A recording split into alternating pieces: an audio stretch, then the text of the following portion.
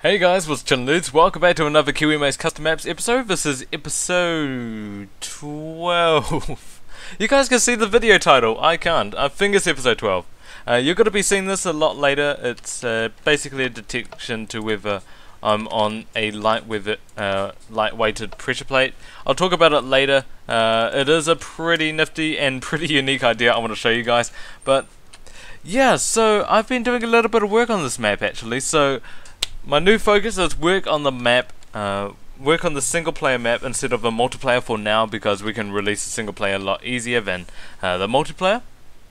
But I've been doing a lot of work on the second single player map and hopefully we should be seeing a release for that soon. I'm currently working on stage 10 and once it's about stage 18 we might work on like another single player map and then release uh, both the second and third single player maps all together as one. Uh, but let's get started. First of all, I want to score players set Torbray uh, single player. I want to show you guys that I've actually like fixed everything up from the previous corruption thing. So everything is working and fixed as it's supposed to be. So currently uh, with the single player map A1 that means that we're in the lobby rooms like all of these areas and then the we're basically 99 which means we're not in any stage yet. So first of all we go like that. I'll take you through a run through of everything that's going on. We're on stage 1, none of the like dialogue is working at the moment but, but this is basically where you go, your inventory is cleared and it's a pretty simple uh, second single player map uh, stage where you just find the door uh, I have named this map actually, it's called Enter the Dungeon, so that's pretty good. Uh, what is this one? This one is just a different door. I think I've shown you guys already a lot of the stuff, but I'm just showing you, like, it's pretty much fixed. Where was this one? I think this one was down below here. And then I've been, uh, no, it's up top.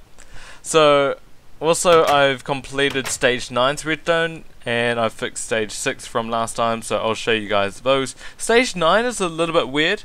It's upside down, but I had to make a lot of adjustments. So, yeah, we should be stage 3. Yeah, we're stage 3. Sweet.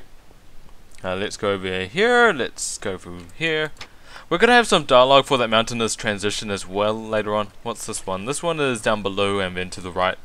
Uh, yeah, like the stuff in which we need the dialogue, like stage 3, yada yada yada, that's going to have to be essential to this map.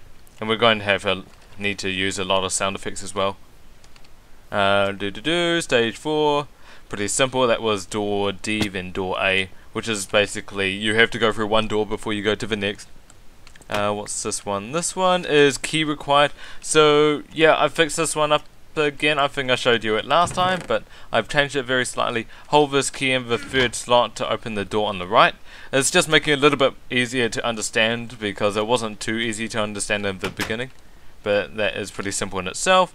Inventory should be cleared and we get given the map.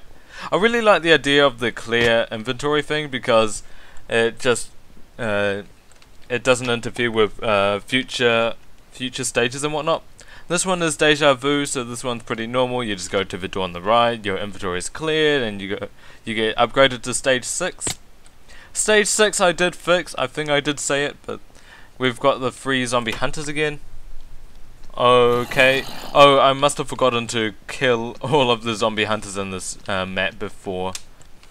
Yeah, so we probably have six. That's a, oh, that's a bug I do need to fix. Kill all the zombies in the map before um, before uh, we spawn any more zombies. Otherwise we'll have... I think we have six now. We have... Yeah, we have some over here. How's it going, guy? The, the mob AI is really, really weird in the snapshots, but hopefully they get fixed. Then you go over here to finish up. Stage 7. What was stage 7? I can't even remember half of these stages. Um, can't... Uh, can't even remember this. Um, hmm. What was it? Oh no, this one was final door, right, so you press a button uh, which goes to the next room, but it's not a proper door. It is now a proper door. So that one was pretty simple to program. And then stage 8. Just catching you guys up on what's going on. This is bunny hopping, this one's just normal jumping. Uh, this one I think the door's to the right. Hey, Hey, hey. This one's so irritating to get through, actually.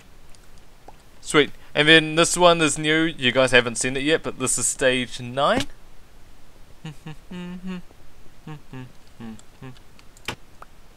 stage 9 is upside down.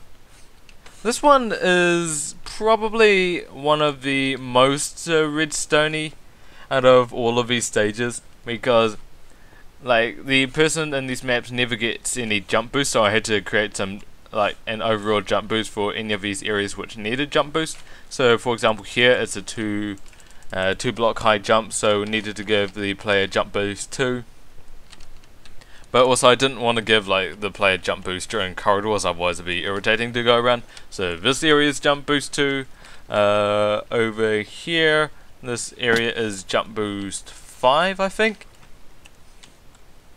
yeah, it was really irritating to program all of these. And then we, like, I flipped it over in MC Editor. That one is, like, flipped over in MC Editor. That's pretty easy to understand. But then had to choreograph, uh, choreograph, choreograph uh, all of the jump boosts in the different areas in which you could get stuck. Like over here, for example, uh, this is like upside down, but uh, need this this area was really weird because this place needed a jump boost free. This one needed a normal jump boost from there, but also needed a jump boost 4 from over there as well, so that one was pretty irritating to choreograph, but uh, I didn't do it on camera because it was just a lot of technical redstone. And then this uh, gets upgraded, and then that's the extent of what's happened uh, for the uh, single player uh, no, for the map. And then we're currently working on the stage 10, which I'll just quickly show you, I think. And then I'll show you what we're planning to go with. So, if we go to the right and we go up the staircase, we will come across this big giant X. And what I'm planning for this one is for it to be there be treasure. So this is like the X marks the spot. And as soon as you approach it, it reveals a, well, it's a gold block right now, but it reveals a chest underneath. And then the chest will have uh, enough materials to create a lightweight pressure plate. So if we break into this chest over here. I'm using the clone command to clone it over there. Uh, you see lots of random uh, materials, but over here we've got like golden nuggets and whatnot. Uh, what I'm thinking with this is the player gets given enough gold to create a lightweight pressure plate, and then he can place it underneath him, and then that's when the uh, command block which I showed you earlier comes in. So let's get our developer tools. Doo -doo -doo. So over here, this is to test for any lightweight pressure plate underneath the player. So if we, so I'm using the execute detect uh, command. So you start off with the execute, and then it's got this. So it executes on any player with single player A2 equals uh, 210, and then uh, score single player A2 minimum of 210, which is on the right. So it's multi, uh, single player map 2 stage uh, 10 and then I'll just quickly add this and then anyone within the map uh, SP map A2 minimum equals 2 so anyone within the single, uh, second single player map uh, to detect a Minecraft lightweight pressure plate uh, where the player is or at his feet and make sure it's powered so 1 and then if it does then it sets the player, uh, the nearest player who's in the second single player map to a new scoreboard called Stage 210 1. And that allows us to do a lot of things which I haven't actually programmed yet, but that's what we're currently working on. Um, yeah, but a few hours have gone into the making of this. So what I'm thinking with this is after it detects a lightweight pressure plate, it First, uh, let's see, let's get a command block.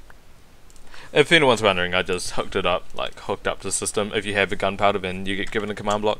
So what I'm thinking is um, execute at p score.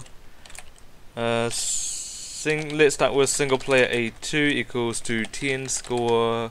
Single player a2 minimum equals to 10 score uh, anyone within the map, so the second player map, uh, or anyone with a score of 2 and scoreboard SP map A1.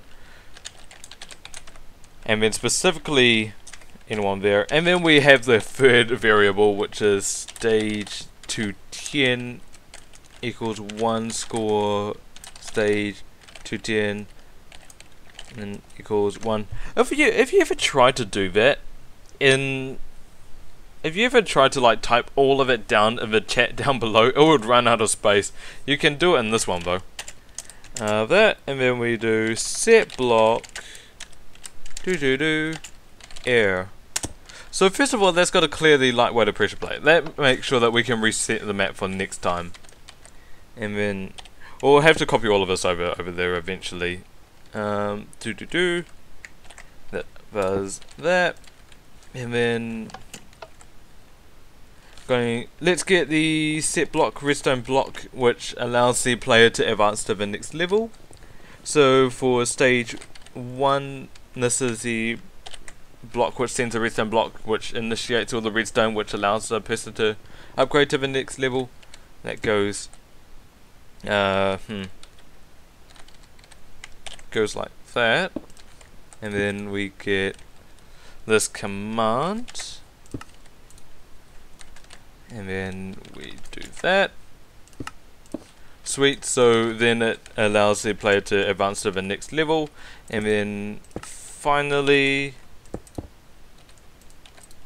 uh, it executes for anyone who's of score stage to 10 to be set back to players set at oh no it's just no it's scoreboard.